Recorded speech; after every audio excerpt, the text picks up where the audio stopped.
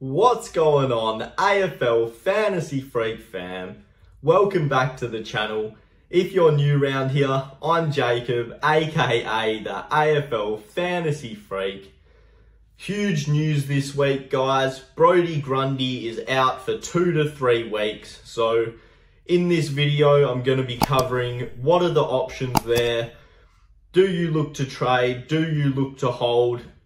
Along with some other trading guides and principles to follow during the bye periods. Stay tuned for a huge video.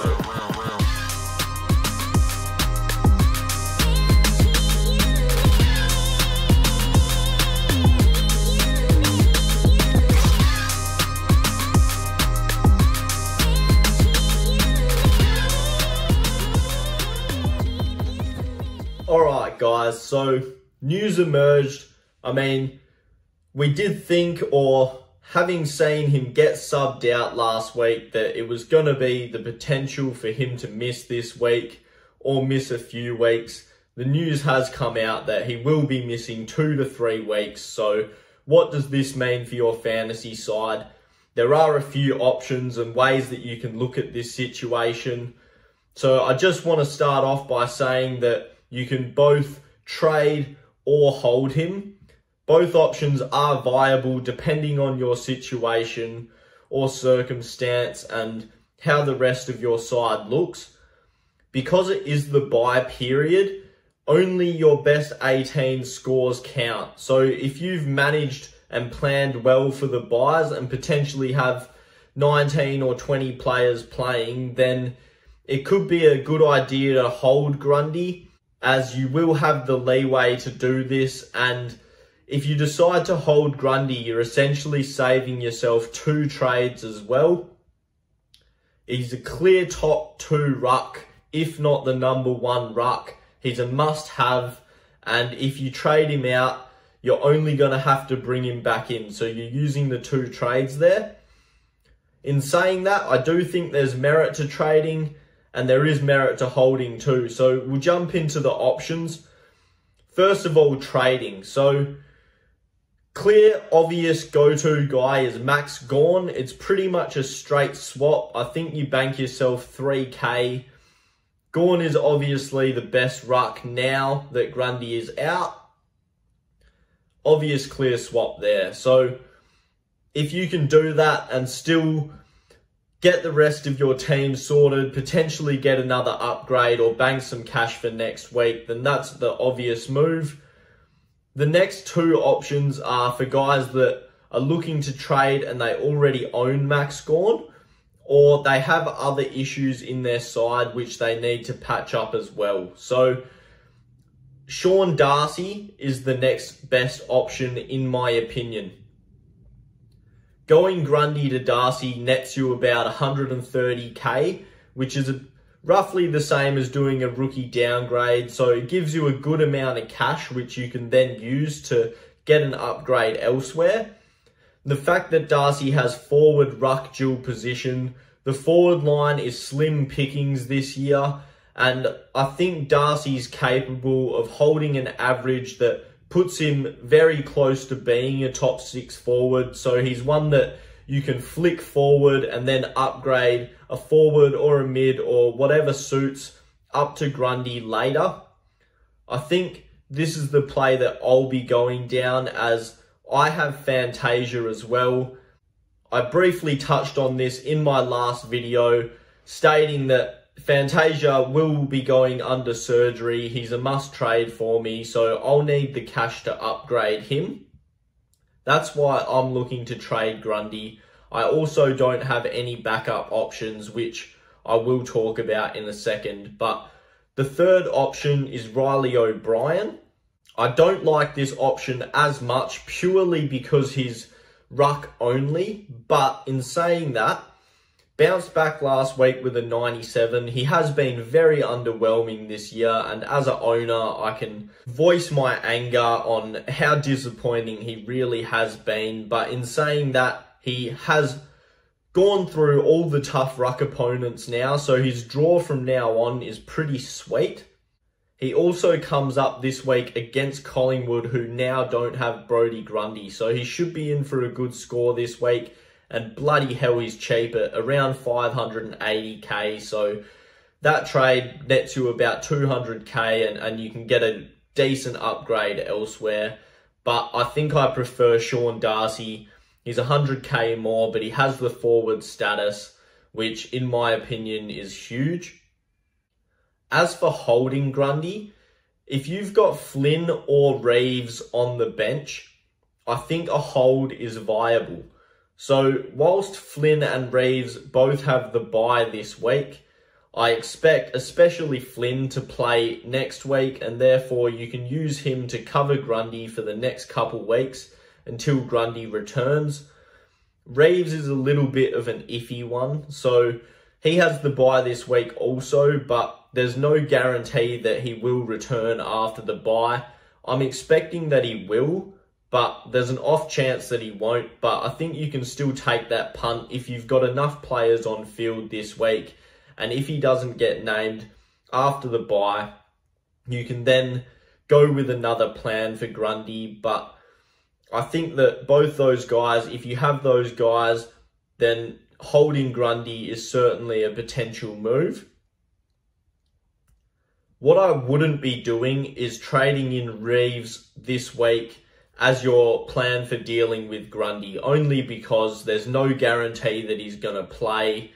And if you trade him in this week and he doesn't play after the bye, then you're in trouble. You've essentially paid 250k for a non playing rookie, which doesn't then help out your bye structure or dealing with the Brodie Grundy donut. So that's something that I personally wouldn't do. If you want to get on Reeves, I'd wait until after his bye and see if he gets named first and then jump on board.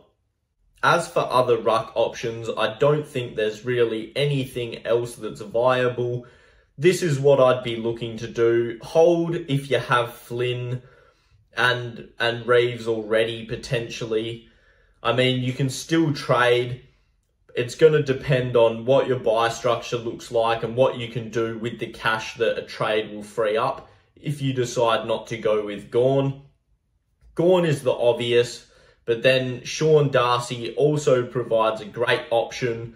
And if you're feeling a bit adventurous, Reilly O'Brien is very cheap and does provide a lot of cash for you to then upgrade elsewhere. So those are the guys that I'd be looking at and really the only options that I think are viable. If we focus on trading through the byes in general, you want to be following the same principles that I preach throughout the regular season. You want to be doing a downgrade, upgrade. The idea is to come out of the byes in a better position to when you went in. So you want to be finishing the byes with less rookies on the field, potentially no rookies on the field, and in saying that, you want to have your list of target players ready. So you want to know which guys that you're looking to get on, and you want to have a plan of action in terms of how you're going to achieve that. So for me personally, I need round 12 players, and I also need to get rid of some round 12 guys. So for me, I've got Fantasia, who I need to get rid of. I could go to a round 13 or round 14 player. They are playing this week. It gives me one extra on the field. But as it stands, I'm already going to have 19, potentially 20 players on field. So I don't need an extra playing guy this week. So I'm looking to trade Fantasia to another round 12 guy, which will then benefit me through the next two weeks. So that guy for me is potentially Dan Houston. He's very underpriced at the moment. Um, it's not confirmed that I will be doing that, but it's an option that I'm looking at for sure. I then am looking to target Lachie Whitfield next week. Ollie Wines potentially, despite his high price tag, more for the fact that he's got that unique ownership and I'm looking to really get some point of differences in. He's very low owned in the top 50 coaches, so that will give me an edge, hopefully. Some other guys that I'm looking at are Neale and Dangerfield should be back from injury during the byes, So they are guys that I'm looking out for. There's plenty of guys out there.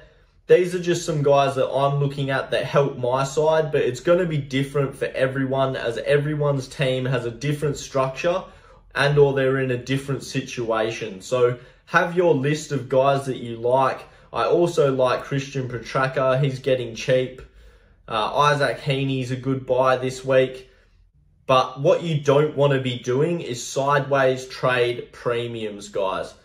You're going to get points. You're going to make up points doing it. But over the long term, over the long run, it's going to be bad for your team. Essentially, you're not improving by doing this. So what I'm talking about, for example, is say you've got Tim Taranto, Tom Mitchell, these round 12 bye premiums this week. What I wouldn't be doing is say trading a Taranto to a Macrae or trading a, a Tom Mitchell to a Bontempelli because essentially you're then bringing in someone who's then not going to play next week. And in doing that, you're going sideways you're not generating any cash and you're not improving your side long term. So you want to be looking, especially with the three trades, you can afford to do one downgrade and two upgrades or two downgrades and one upgrades and make sure you're really focusing on bringing in someone that you're happy with and someone that you want to keep for the long term. I'd be focusing on targeting guys at this point that you think are a top in their position or close to. So, say as a midfielder, you really want to be bringing in guys that you think are top 15 to top 20 at the least. Defenders, top 10, forwards, top 10, all around that mark, okay? So, they're the guys I'd be looking to focus on bringing in. And that's the sort of way that I'd be looking to trade. Early trade plans for me at this stage Grundy to Darcy. I'll then be trading Koschitzke down to a rookie that gets named. Madden at this stage, but if a 170 gets named or there's other options, I will look there. And then Fantasia to Dan Houston. That's what I'm looking to do at this stage. I also have my next two rounds worth of trades planned out as well, but obviously I'm not going to talk about that right now because anything can happen there. We saw with injury this week, could be injuries next week. And that's the other thing you guys need to consider too is you want to be aiming to have 19 to 20 on field each week. And this gives you some leeway in case you do have injuries so you can field the 18 at a bare minimum. Ideally, you want 19 to 20 though because it's going to give you that ability to have one or two scores drop out of your total, which can be really helpful in getting 20, 30, 40, potentially more extra points on some other guys that only have the 18 players. This is going to really help you climb up the ranks. So that's some tips in terms of what I'd look to do with my trading and what I'm looking to do with Grundy personally and what I think you guys should do as well. So if you've enjoyed this video, if you found this video helpful, make sure to drop a thumbs up. It really helps out the channel, guys. Comment below what you're thinking to do with Grundy, potentially some guys you're looking at and what your trades are looking like. If you've enjoyed this video and or like AFL fantasy content, subscribe to the channel, guys. And until next time, keep climbing up the ranks. Look. I'm about my pledge, bitch. I'm decked up on blue bills, and I won't stop until the cash pit look like fall leaves in the backfield. Tell her out of my face if she coming with that bullshit. Quit to say my piece, I'm so after school special. She brainy, but